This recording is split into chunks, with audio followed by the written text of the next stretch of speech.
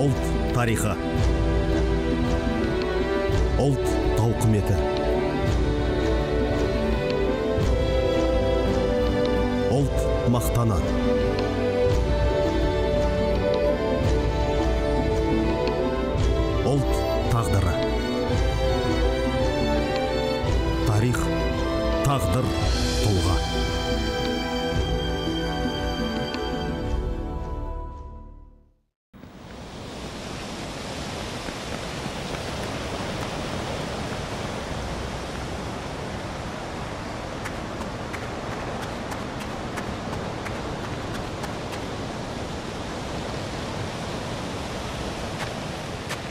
Он жетіге енді толған бозбала ел шетіне жау тигенде майдан даласына өз еркімен баруға бекінеді. Бір емес бірнеше рет меселі қайтып өтініші қабылданбайды. Бұның бұғанан бекіп қабырған қатпаған өрімдей жассың деп бетін қайтара. Бірақ әке шешеден ерте айырылып жалғыз ағасының майданда мерт болғаны есіне түссе кеудесін кек кернеп өзегін өкініш өртейді. Соғыс оның мұғалім болам деген арманына бір жолата тосқауыл қояды.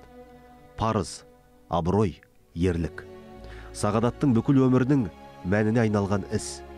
Майданға жазылу үшін бірнеше рет келген бозбалаларға әскери бөлімшедегілер алдымен мұрындарыңды сүртіп алыңдар деп кері қайтарады бірақ зерек сағадатты бірден байқаған комиссариаттағылар оны алдымен саяси ағарту курсына жібереді. Әскери комиссариат қанша жерден қарсы болса да сағадат сағын сындырмайды. Қайтсем де қан майданға барам деп іштей өз өзіне серт береді. Ауылдағы еркек кіндіктілерді түгендей келген комиссияның әр жиыннан қалмай сұрапыл соғысқа сұранумен болады алған бетінен қайтпаған бозбала ақыры 18 жасында. 1942 жылы қызыл армия қатарына алынып алдымен әскери училищеге аттанады. Әскери училищеде бір жылға жетер жетпес уақыт оқыған курсант 1943 жылдың сәуір айында соғысқа кіреді. Майдан даласы астан кесті. Қанды қырғын оқ пен от қан құйды сұрапыл. Қайтпас қайсарлық пен қырағылық ағасы үшін кек алу мен әрбір солдаттың өмірін сақтап қалуға деген жауапкершілік балаң жігіттің ойын он санасын сан саққа бөледі.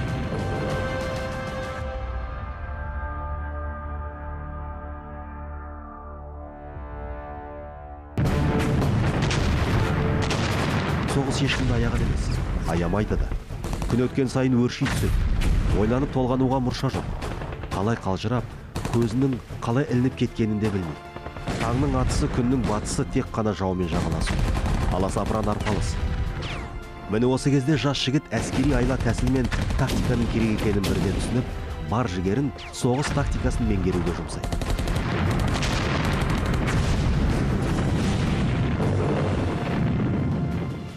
Сағадат сұм соғысты көзімен көріп ажалмен сан мәрте бетпе бет келген кезде жалаң ұран мен жалған намыстың қайырсыз қалатынын сезеді. Оқ дәрі тапшы. Қару жарақ жетпейді. Ал мұздай қаруланған жау әскерінің әлеуеті бет қаратпай кеңес одағының территориясына дендеп еніп ентелей түседі.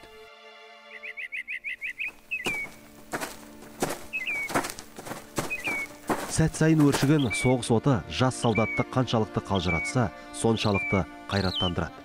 Әбден пісіреді. Сағадат көп дүниені түйсікке түйіп саралап салмақтайды.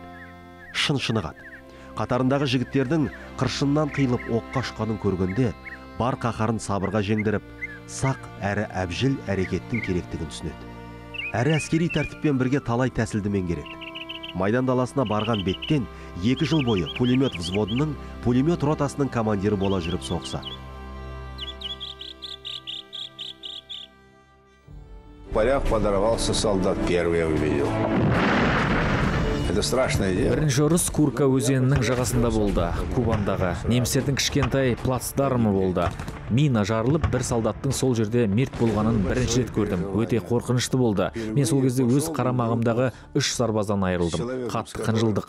Бірінші рет шыға салып жаңа танысқан жігіттерден айырылып қалудан қиын еш нәрсе жоқ. осы ұрыста мен де контузия алып құлағым естімей қалды. Кейін әбүйір болғанда қалпына келді.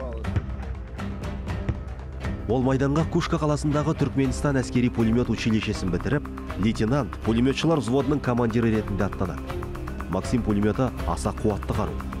Бұл пулеметті төрт жігіт жабылып судан да нудан да арқалап алып жүреді. Бұған қоса сағадат училищеде оқып жүргенде сг 43 станокты пулеметінде меңгерген. Оған күш жігеріне сенгендіктен алдын ала бөліп қойған атқыштар взводына емес одан әлдеқайда күрделі пулеметшылар взводына сұранады. Сағадат Қожахметұлы солтүстік Кавказды, Донбасс, Украина, Молдова мен Польшаны азат етуге қатысқан. Асау Днепр, оңтүстік Буг, Днестр, Пилица, Висла, Одра, Шпрея және басқа да өзендерді кешіп өтіп, фашистердің Кюстринский плацдармындағы қорғанысын бұзды. Берлиндегі неміс басқыншылары жасырынған үкіметтік ғимараттарды басып алып, 301 Сталиндік дивизияның құрамында Берлинге дейінгі соғысқа басынан аяқ қатысады. Сағадат басқаратын атқыштар батальоны орыстың жерінен Украинаға қарай бет алған сәтте бұрынғыдан да зіл батпан жауапкершілік жүктеледі. Өйткені фашистер кеңестің кенді өңірлерін басып алып, соғысқа қажет шикізат пен азық түлік тиеген эшелондарды тоқтатып, жұртты әбден тарықтырады. 5-ші екпінді армияның 1052-ші атқыштар полкі құрамындағы батальон командирі Сағадат Нұрмағамбетов басқаратын жауынгерлер Днепрді бойлай атой салып, кескілескен ұрыста жау бетін қайтарып, Донбасты азат етеді. Дәл осы шайқастағы қайсарлығы үшін ол бірінші рет Қызыл жұлдыз орденімен марапатталады.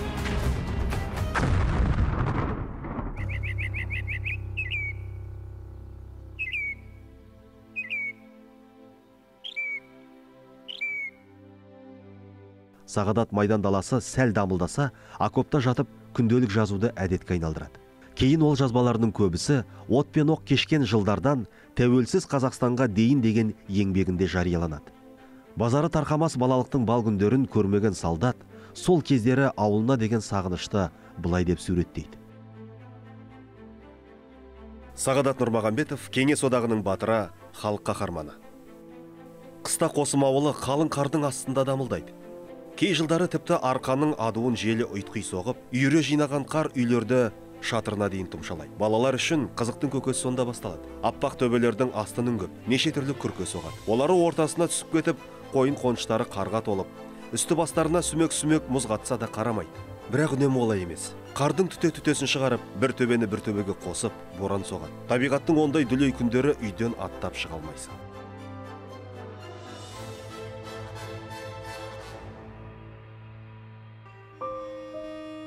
Сағадат Қожахметұлы 1924 жылы елорданың іргесіндегі Ақкөл маңындағы Қосым ауылында дүниеге келген. Аймақтың қысы қақарлы, жазы аптап ыстық.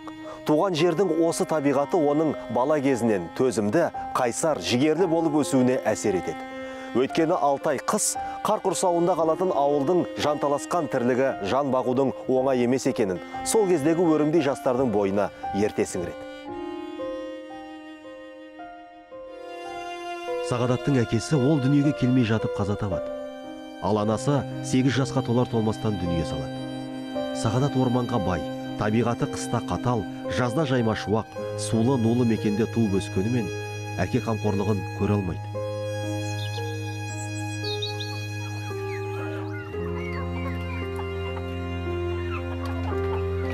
Анасы Айса жалғыз болса да, екі баласына жетімдіктің дәмін татқызбай, еркін әрі еркелетіп өсіреді. Алайда ағасы Сағит екеуі алаңсыз ер жетіп келе жатқан шақта жан аналары Айса бақилық дүниеге аттанады. Сағадат ол кезде жетіден енді ғана асқан.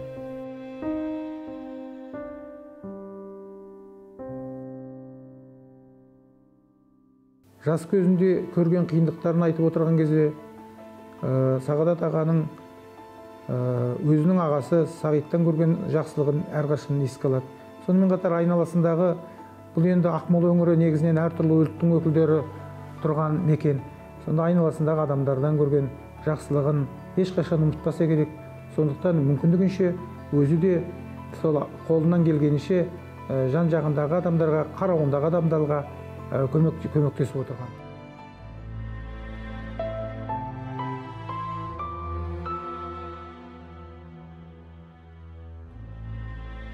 Қос жетімнің балалық шағы асыра сілтеу болмасын аша тұяқ қалмасын делінетін ашаршылықтың азапты жылдарына дөп келеді. Ел ішін аштық жайлап, жұрт балапан басына тұрымтай тұсына бас сауғалап, жан бағудың қамымен босып кетеді. Сол кездің өрімдей жеткіншектері бала болып ойын қуған жоқ. Керісінше ерте есейіп, еңбекке ерте араласады.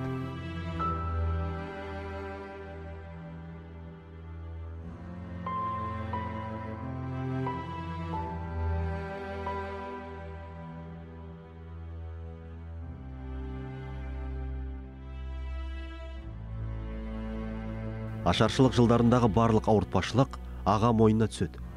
Сағит өзінен кейінгі жалғыз бауырына әке орнына әке шеше орнына шеше болады. Екеуінің арасы бір мүшел ағасы колхоздың кез келген жұмысына араласып барлық істі адал атқарады шөп шабады ағаш кесіп астық тасиды. Ағалы інілі екеу аштықтан енді ес жиып бір біріне арқа сүйер тұста соғыс басталады.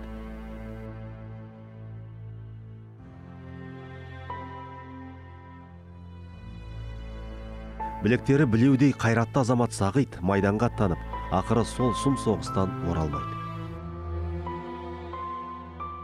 Негізінен соғыс, соғысты ә, сағадат аға ә, ақмолада ә, саяси ағарту училищесінде оқып жүрген кезде естиді. Содан сабақ барлық жерде тоқтатылды әрине. Сағит аға да құстай ұшып өзінің ауылы жаңағы еңбек ауылына қарай асығады. Еңбекке келіп жеткенде де сонда алғашқы әсерін айтады. Алғашқы әсерім мынадай болды. Дейді ештеңе ештеңеге қарауға маңайымда не бар екенін көруге бұл бұрын жайқалып тұрған орманды қарағайды қара қайыңды көріп келе жатсам қазір көзіме ештеңе көрінбейді. Сонымен қатар тіпті құстың шырылдағаны шегірткенің шырлы құстың жаңағы салған әні де бұрын бала кезімде пойыздан түсіп қалып разъезден келе жатқан кезде қызықтайтын болсам соңғы бұл жолы маған осының бәрі көрінбейді көзім ештеңе көрмейді құлағым ештеңе естімейді бұл соғыстың үлкен алапат екенін сезіп келе жатқан жас жігіттің өзінің ойында қалғандары үйге келіп сол сағит ағасы майданға аттанады. Кейін сағит ағасы майданнан оралмаған кезде бұл өзі майданға сұрана бастайды. Сағадат жастайынан алғыр өжет болып өсті. Анасы айтқан әңгімелерді жадына тоқып есіне тез сақтап үлгереді. Ал батырлар жыры туралы әңгіме дастандарды әулеттің үлкені әлжан ақсақалдан жиі естиді. Әсіресе қобыланды батыр алпамыс батыр жырын тыңдағанды ұнататын сағадат қожахметұлының соғыста ерлікпен көзге түсіп батыр атануына жастайынан жаттап өскен батырлар жырының да септігі болғаны анық. Ағасы әскерге кеткеннен кейін жеңгесінің қолында қалды. Жеңгесі күлтай деген кісі күлтайда екі ұл болды. Сонда енді інілері ғой. Сағадаттың ерлігі мен өмір жолы бір ауыл бір рудың ғана емес. Бүтін ел бүкіл ұлттың мақтан мерейі. Қазір ақкөл қаласында батырдың атында көше мен арнайы мұражай бар.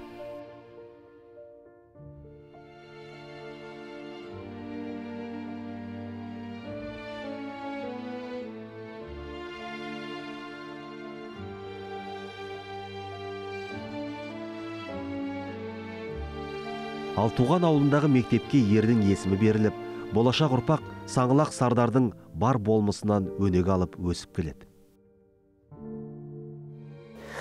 Сағадат Нұрмағамбетов мектепте бастауышты үздік оқып, екі сыныпты бір жылда бітіріп, зеректігімен ерекшеленеді. Әсіресе ол география және тарих пәндерін үздік оқып, бала кезінен мұғалім болуды армандайды. Бұл пәндерді сүйіп оқығаны соншалық, картадан әлемнің кез келген елі мен астанасын көз жұмып тұрып тауып бере алады. Сағадат мектеп тәмамдаған жылдары соғыс оты тұтанады. Әлгінде өзі сүйіп оқып картадан мүдірмей тауып алатын әлем елдерінің шетіне жау шабады. Осылайша әлем тарихындағы ең алапат екінші дүниежүзілік соғысы басталады. Мектептен кейін бірден майдан даласына сұранған баланы алғашында әскер қатарына алмайды. Жасы жетпеген жас жігіт осы кезде туған ауылында трактор айдап кейін есепші клуб меңгерушісі қызметтерін атқарады.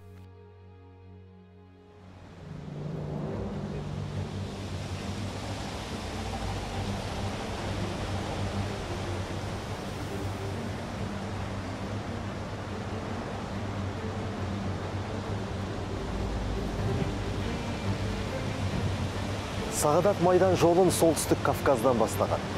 Түркменстандағы әскери училищеден бес қаруды бес саусағындай меңгеріп шыққан жас жігіт майданға бірден пулемет взводын басқарып кіреді. Кейін қарамағындағы қайсар жігіттермен бірге талай жау бетін қайтарып, рота мен атақты 5-ші екпінді армияның атқыштар батальонын басқарады.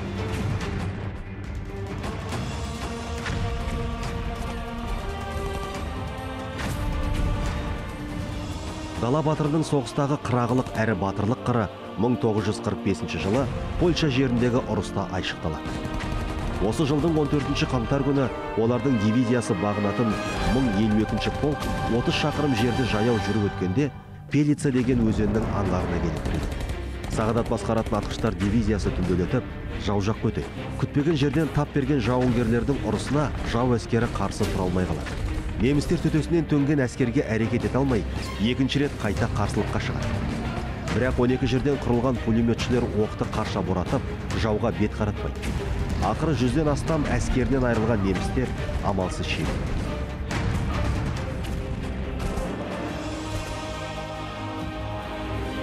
Генерал лейтенант федор боковтың естелігіне 1945 жыл ақпан айы. Одра өзенінің аңғары. Кескілескен қиын ұрысты үшінші атқыштар батальоны 1052 атқыштар полкының 301 дивизиясы сағадаттың басшылығымен фашистерге қарсы қайсарлық көрсетті. Олар жаудың ондаған танкісін жойып немістерді ойсырата жеңді содан кейін басталады ғой ол шайқас. Ол енді бірінші мына кубань. Кубаньнан кейін ана ары қарай донецк. Одан кейін ары қарай польша. Одан кейін ана берлині бар. Соның барлығы былай қарап отырсаң соны жазған апырмай батырлығы. Батылдығы сонда жатыр. Взвод командирі. Сонда міне қараңызшы екі жарым жылдың арасында екі жарым жылдың арасында соғыстың екі жарым жыл сол қатынасқанда нағыз шай нағыз сұрапыл соғыста сонда взвод командирі рота командирі батальон командирі. Оның орынбасары болды бас кезінде. Польша жеріндегі пилица өзені. Сағадат басқаратын полк 1945 жылы үлкен бөгетке кез болады өзен аңғарымен келіп соғысады сонда да қарсылыққа ұшырағанымен жауды тас талқан етіп жеңеді. Бұл майданды маршал жуковтың өзі тікелей қадағалаған.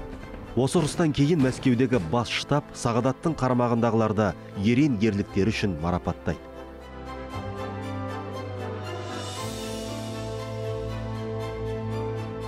Екі жарым жылдың арасында батальон ондай бәрінің қолынан келе бермеді а қаншама командирлер болды 19-20 жаста сол рота командирі болып тұрып сондай міне мына кеңес одағының батыры сол сол, сол, жерден береді сол жерде ұсынады сол кезде ол берзарин генерал полковник ол кезде командующий армии армия командирі сонымен ол кісіге қолына ұстатады сол соғыстың арасында сол жүргенде бірінші ордені ол енді мына кубаньдағы. Мына ордені оның қызыл жұлдыз ордені. Ол екі мәрте қызыл жұлдыз ордені марапатталған. Содан кейін қызыл ту қызыл ту ордені мен марапатталған.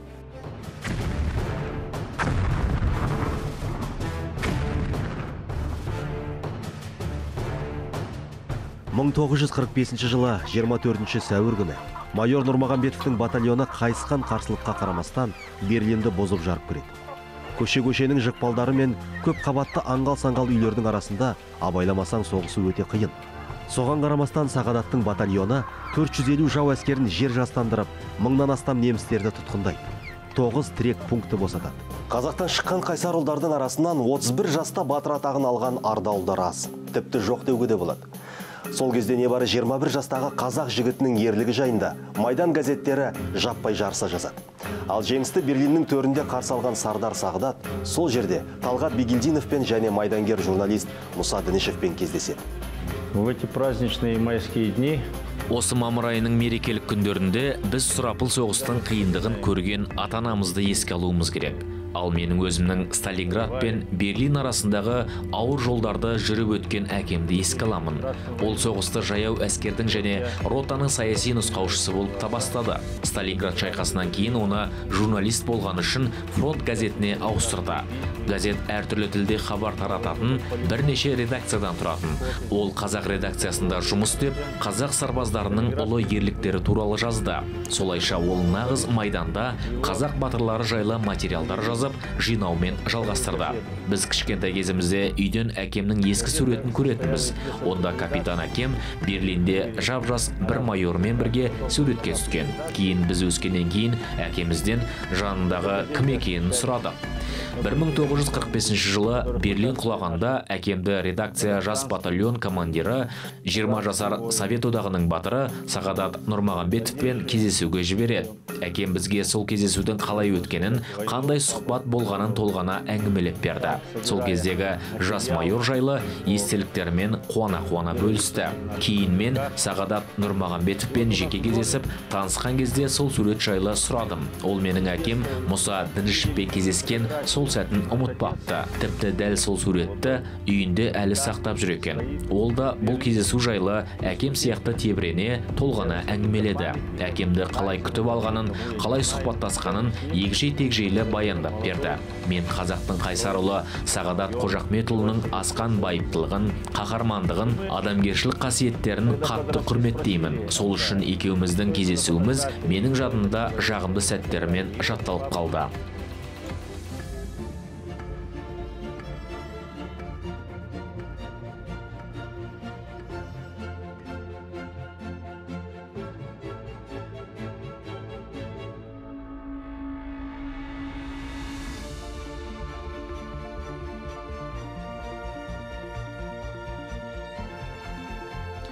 Сағадат қожахметұлы соғыстан кейін қазақ республикасының 25 жылдық тойына ақмола облысының делегация құрамымен алғаш рет алматыға келеді. Сол кезде ел басшысы жұмабай шаяхметов шақырып алып жас батырға елде қал партия мектебін оқы дейді. Бірақ сол кездегі орта азиялық әскери округінің қолбасшысы павел курбаткин сен әскерге керексің деп оны ойынан айнытады. Сөйтіп өзі де майдан жолын өтіп әбден ысылған батыр сағадат әскери қолбасшылықтың ұйғарымымен 1946 жылы мәскеудегі әскери академияға оқуға түседі. Түркістан округындағы пулемет училищесінен бастады. Қазір көп сұрақтар туып жатыр. Осы кісі от, ә, кеңес қаһарманы болғаннан кейін нағып сол кісі тағы оқуға талаптанды деген сөз бар. Әрине ол кісінің әскери адамның әрқайсы әскери генералдың болашақтың адам, ә, арманы білім. Жоғарғы үлкен топтарды басқару басқа да үлкен үлкен дәрежелерді әскери сан басқару үшін әрине білім керек. Сол себепті бұл кісі өзінің талабымен ә, мәскеуде академия фрунзені кейін генштабты оқы курсын бітірді.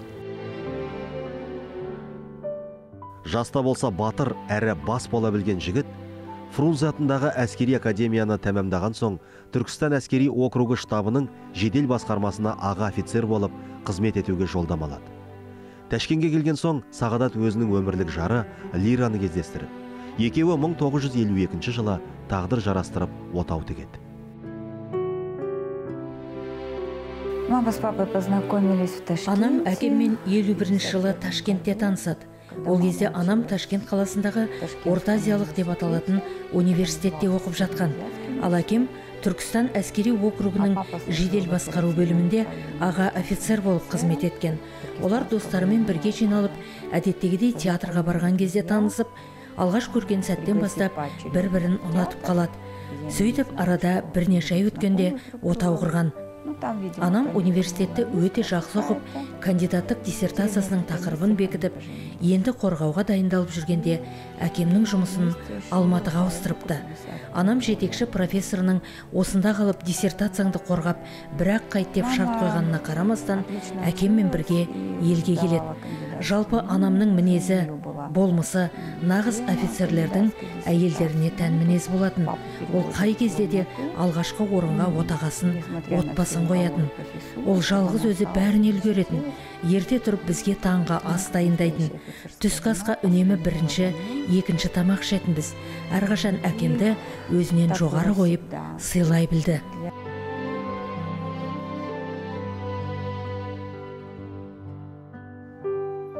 Кейін сағадат мототқыштар полкіне командир болып тағайындалады. Ол жерде табан аудармай төрт жыл қызмет етеді. Соғыстан кейін қайта жасақталған қорғаныс шебін бекітіп елдің әскери қорғанысын нығайтуға тер төгеді. Әскери тәртіп қашанда қатал. Қызмет ауыр. Күн түн демей үй бетін көрмей желдің өті елдің шетінде жүру аса жауапты да асыл азаматтық парыз. Міне әскери азаматтың арқасында артылған осы қиын да жауапты борыштың абыроймен өтелуіне жан жары лира өз үлесін қосады. Ол жолдасына сүйеу болып оның жоқтығын балаларына білдіртпей тәрбие береді.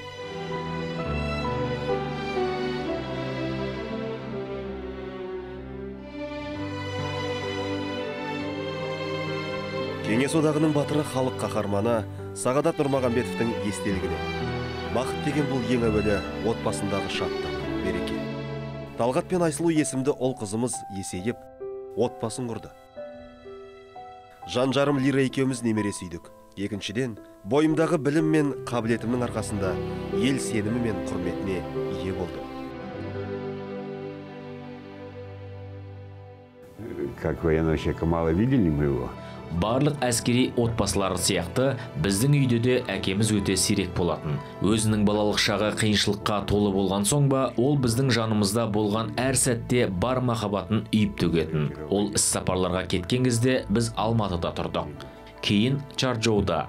Кпсс съезіне делегат болып кеткен кезде ол жақтан бізге түрлі сыйлықтар алып келетін. Біз кешке жиналып дойбы ойнайтынбыз мен мектепке чарджоуға бардым. Менің көз алдымда үнемі әкемнің бейнесі тұратын. Ол маған барлық жағынан үлгі болды. Мені жанынан тастамай ертіп жүрді. Мен чарджоудағы әрбір сәттерді еске алам. Полигонды иран шекарасын және әкемнің сол жерде полк командирі болып жүрген кездерін. Балалық шақ қой. Мен сондағы штаб машинасындағы матраста ұйықтап жататынмын. Солдат асханасы да есімде маған аспаздар үлкен ет кесегін қант рафинатының төрт түйірін және бір кесе шай ұсынатын. Әлі есімде чарджоуда 45 градус ыстық болып тұратын. Анамның менің дәрігер болғанымды қалағанын білем сосын. Міне солай барлығы басқаша болып кетті ғой. Әскердің қамымен әр жақта жүрсе де сағадат үшін алматының жөні бөлек. Әсіресе алып шаһардың шуынан шаршағанда бір сәт отбасы ошақ қасымен емін еркін демалатын төлебаев көшесіндегі мына бір үш қабатты үй сардарға саялы ұя секілді сезілетін. Қазір бұл үйде қазақтан шыққан қас батыр тұңғыш қорғаныс министрі тұрғандығын мына бір мемориалды тақта ғана еске салып тұр.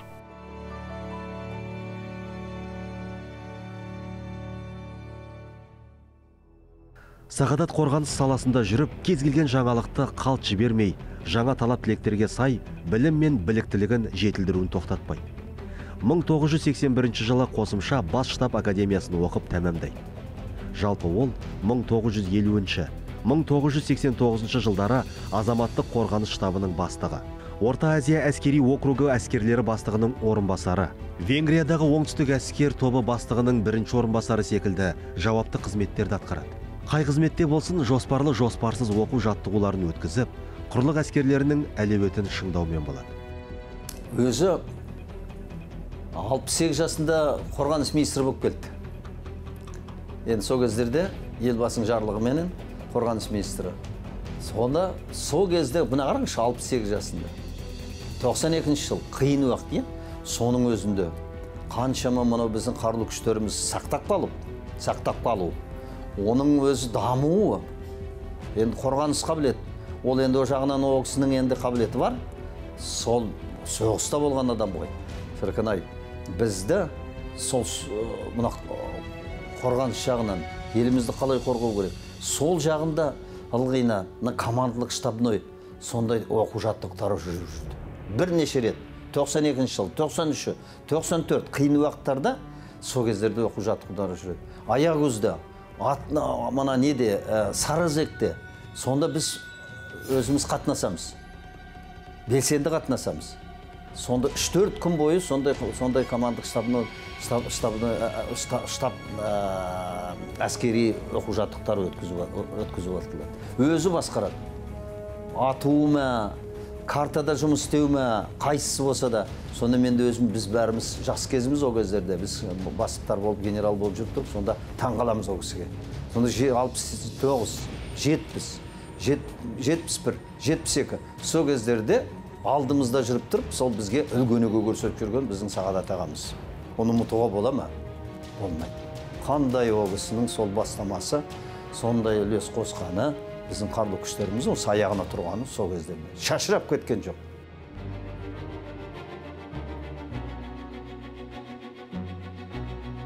соғыстан кейінгі жылдары кеңес одағының басшылығы әскери салада білікті білімді қазақтар қызмет етсе де олардың екеуіне ғана яғни сабыр рахимов пен шәкір жексенбаевқа ғана генерал шенін берген. Бұл әскери атақ сағадатқа да дер сәтінде бұйырмаған шен. Дегенмен 1961 жылы дивизия командирлігіне ұсынылып мәскеуге кеңес одағы коммунистік партиясы орталық комитетіне шақырту алады. Бірақ оқыс сырқат килігіп аурухана төсегіне таңылған сағадаттың кандидатурасы денсаулығына байланысты кері қайтарылады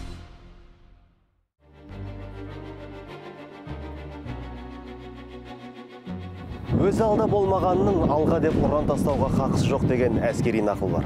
Сағадат аға әрқашан алда болды. Соғыста әскери қызметте алғы шепте бейбіт өмірде де бәрінде де алда болды.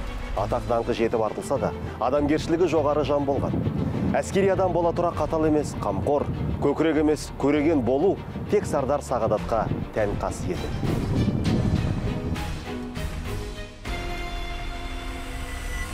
Сардар сағадат нұрмағанбетов соғыс пен әскер тақырыбын қаузап тарихын зерттеген жан сағадат есімін айналып өте алмайды. 21 жасында кеңес одағының батыры болған оғлан саналы ғұмырын тәуелсіз елдің әскерін жасақтауға арнайды. Мемлекеттің қорғанысын қамтамасыз етпей тәуелсіздіктің баянды болуы екіталай. Сондықтан мемлекет қорғанысы ел дамуының стратегиялық бағдарламасында басым бағыттың басында тұрады кез келген мемлекеттің арқа сүйер айбары оның әскері.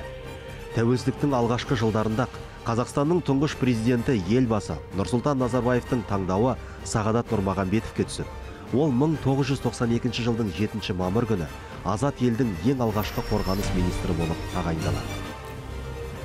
Жұмыс оңай болған жоқ. Бірінші күннен бастап сағадат қожахмеш ағамыз бізді үйретуді бастады. Женесі қарулы күштердің болашағын болашағын қалай жолмен апаратынды уже көзі жетті.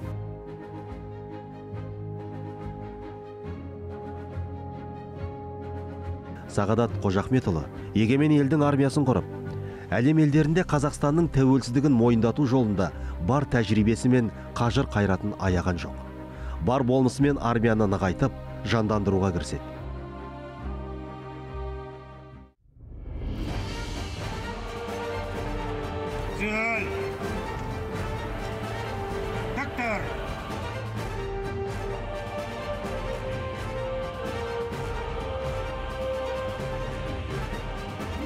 Азаттықтың елен алаң шағында республика аумағында 250 мың әскер орналасса да ішінде қазақтан бірде бір полк командирі болмайды. Негізінен орыстар мен украиндар. Көбісі аласапыран шақта отанына қайтып кетеді. Міне осы кезде сардар сағадат шұғыл түрде офицер құрамын толықтыру мақсатында кіші лейтенанттар даярлайтын қысқа мерзімді курстар ұйымдастыруды ұйғарады. Мемлекеттің қорғанысы жолында. Көрегендікпен көш бастап сарабдал шешім қабылдай тұлғаның еңбегі ақталды.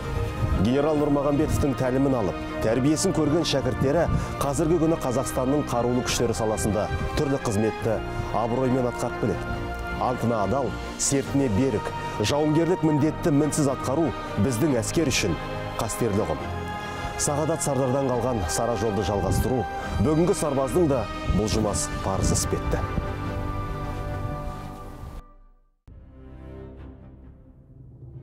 Одақ ыдыраған тұста тмд бойынша әскери полигондар тек қазақ сахарасында ғана сақталып қалады.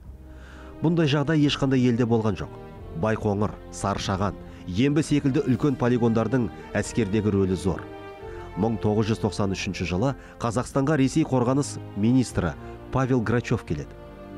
Күн тәртібінде әскери техниканы бөлісу мәселесі тұрған. Келіссөздер қиын жағдайда өтеді. Бұрынғы әріптестерін ренжітіп алмай ұстамдылықпен бірге салиқалы шешім қабылдау үшін салқынқандылық қажет. Әрі елдегі дүниені сақтап қалу керек. Осы келіссөздер кезінде сағадат сарабдалдығын танытып қазақтың мүддесін орыстың алдында түгел сақтап қорғап қалады. Сол кездерде енді өзіміздің қаруымыз барлығы енді қалай болса да ана әуе ұшқыштар қандай артиллерия болсын ракеталар барлығы енді олар өздері жабдықтап жақсы болып жатыр. Бірақ соның өзінде тағы да бізге техника керек болды ғой. Қару керек болды. Әрбір ә, нелерге әскери техникаларға. Сонда москваға барып жүреді. Ә, жиылыстарға барады. Өзінің неге қорғаныс министріменен сол ә, ресейдің қорғаныс министрлігілерімен олармен кездесіп соларға ә, келісім шартқа қол қойып сөйтіп созға техникаларды да алу үшін бізге сондай көп жұмыстар біздің сағадат ағамыз істегені. Опырмай енді ол енді ол, ол тарихта бар. Ол кісі ол, көп айтпаушы еді бірақ оны біз көзіміз жетті біз көрдік оны. Сөйтіп сөйтіп қару да оларға ә, тағы да ә, енді қандай техника қамтамасыз ету үшін осы сондай көп үлес қосты ол кісі ол, ол, ол, ол сондай және көп ол бас кезінде 92-91 жылдары 93 жылдары мына туркво болды ол кезде 91 жылы. Туркво болғанда туркво әлі, әлі госкомитет обороны ол кездерде. Сол ұрлықта болған. Соның барлығын тоқтатқаны біздің сағадат ағамыз.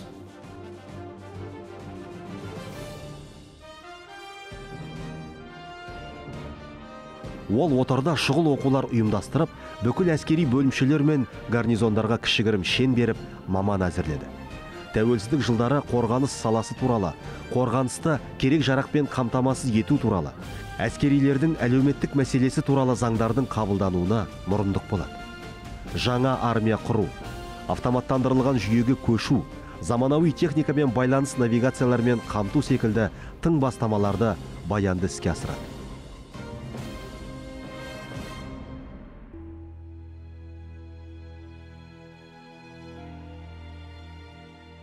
Ерліктің ең үлкен ізгілігін отанға деген сүйіспеншілік туғызады.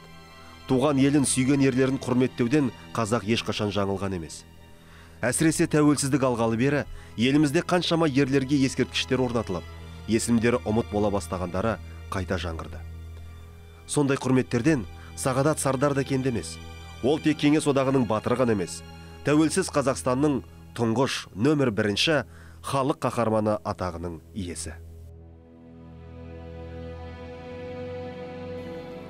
Сол 23 мамырда 94 жылы біз сондай қуандық елбасының жарлығыменен мына сол бұрын ұлы отан соғысының уақытындағы батырлығы батылдығы және мына қарулы күштердің сол ә, құруы оның белсенді құруы және оның дамуы сол үшін және әскери патриоттық мына жұмыстарды көп істегені жастардың арасында. Сол үшін халық қаһарманы нөмірі бірінші болып сол кісі болды. Сол кісіге марапатталды.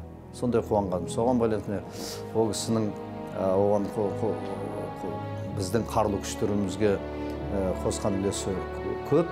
Біз қуанамыз. Біз оның екінші әкеміз сияқты болып кетті ғой қарулы күштердің арасында. Бәріміз солай айтамыз. Неге десеңіз жайдан жай айтылмайтын дүние ғой ол кісінің батылдығы ол кісінің батырлығы адамгершілігі. Бәрі көзіміздің алдында бірінші қорғаныс министріміз.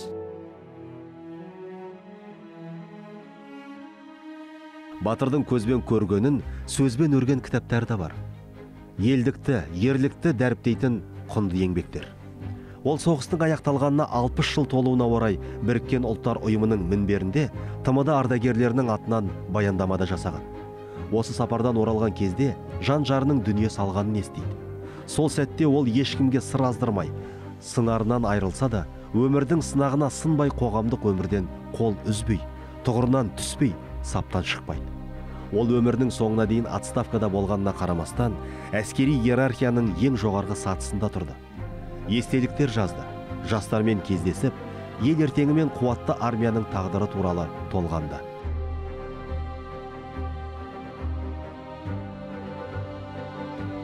Кеңес одағының батыры халық қаһарманы. Тәуелсіз қазақстанның тұңғыш қорғаныс министрі сағадат нұрмағамбетов 2013 жылдың қоңыр күзінде дүниеден өтті. 90-ға толар шағында қазақтың талай арыстары мен саңлақтары жерленген кеңсайдан топырақ бұйырды. Есімі ел жүрегінде сақталған ер ешқашан ұмытылмайды. Сағадат сардар да солардың сапынан.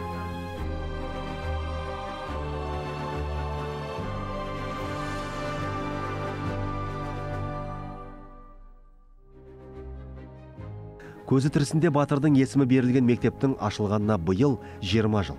Осы уақыт бедерінде әскери білім ошағынан жүздеген түлектер түледі. Жас арасында ресей беларусь қытай украина түркия германия секілді мемлекеттердің қорғаныс салаларында біліктілігін жетілдіріп білімдерін шыңдап қазір еліміздің қорғанысы мен қауіпсіздігі саласында абыройлы қызмет атқарып жүргендер де жетерлік.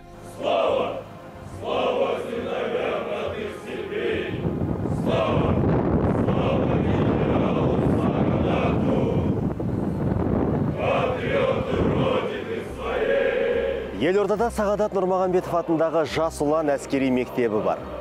Тұңғыш президент елбасы нұрсұлтан назарбаевтың қатысуымен 1999 жылы ашылған мектеп осыдан 8 жыл бұрын қазір біз тұрған жаңа ғимаратта қоныс тепкен. Батырдың ескерткіші де осында. Мұндағы түлектердің барлығы сағадат аталарындай батыр генерал болуды армандайды. Сағадат аманат жас ұрпақ. Ұрпақ сабақтастығынан үзілмек емес халқы барда алысқа кеткен даңқы барда асқақтай берері анық.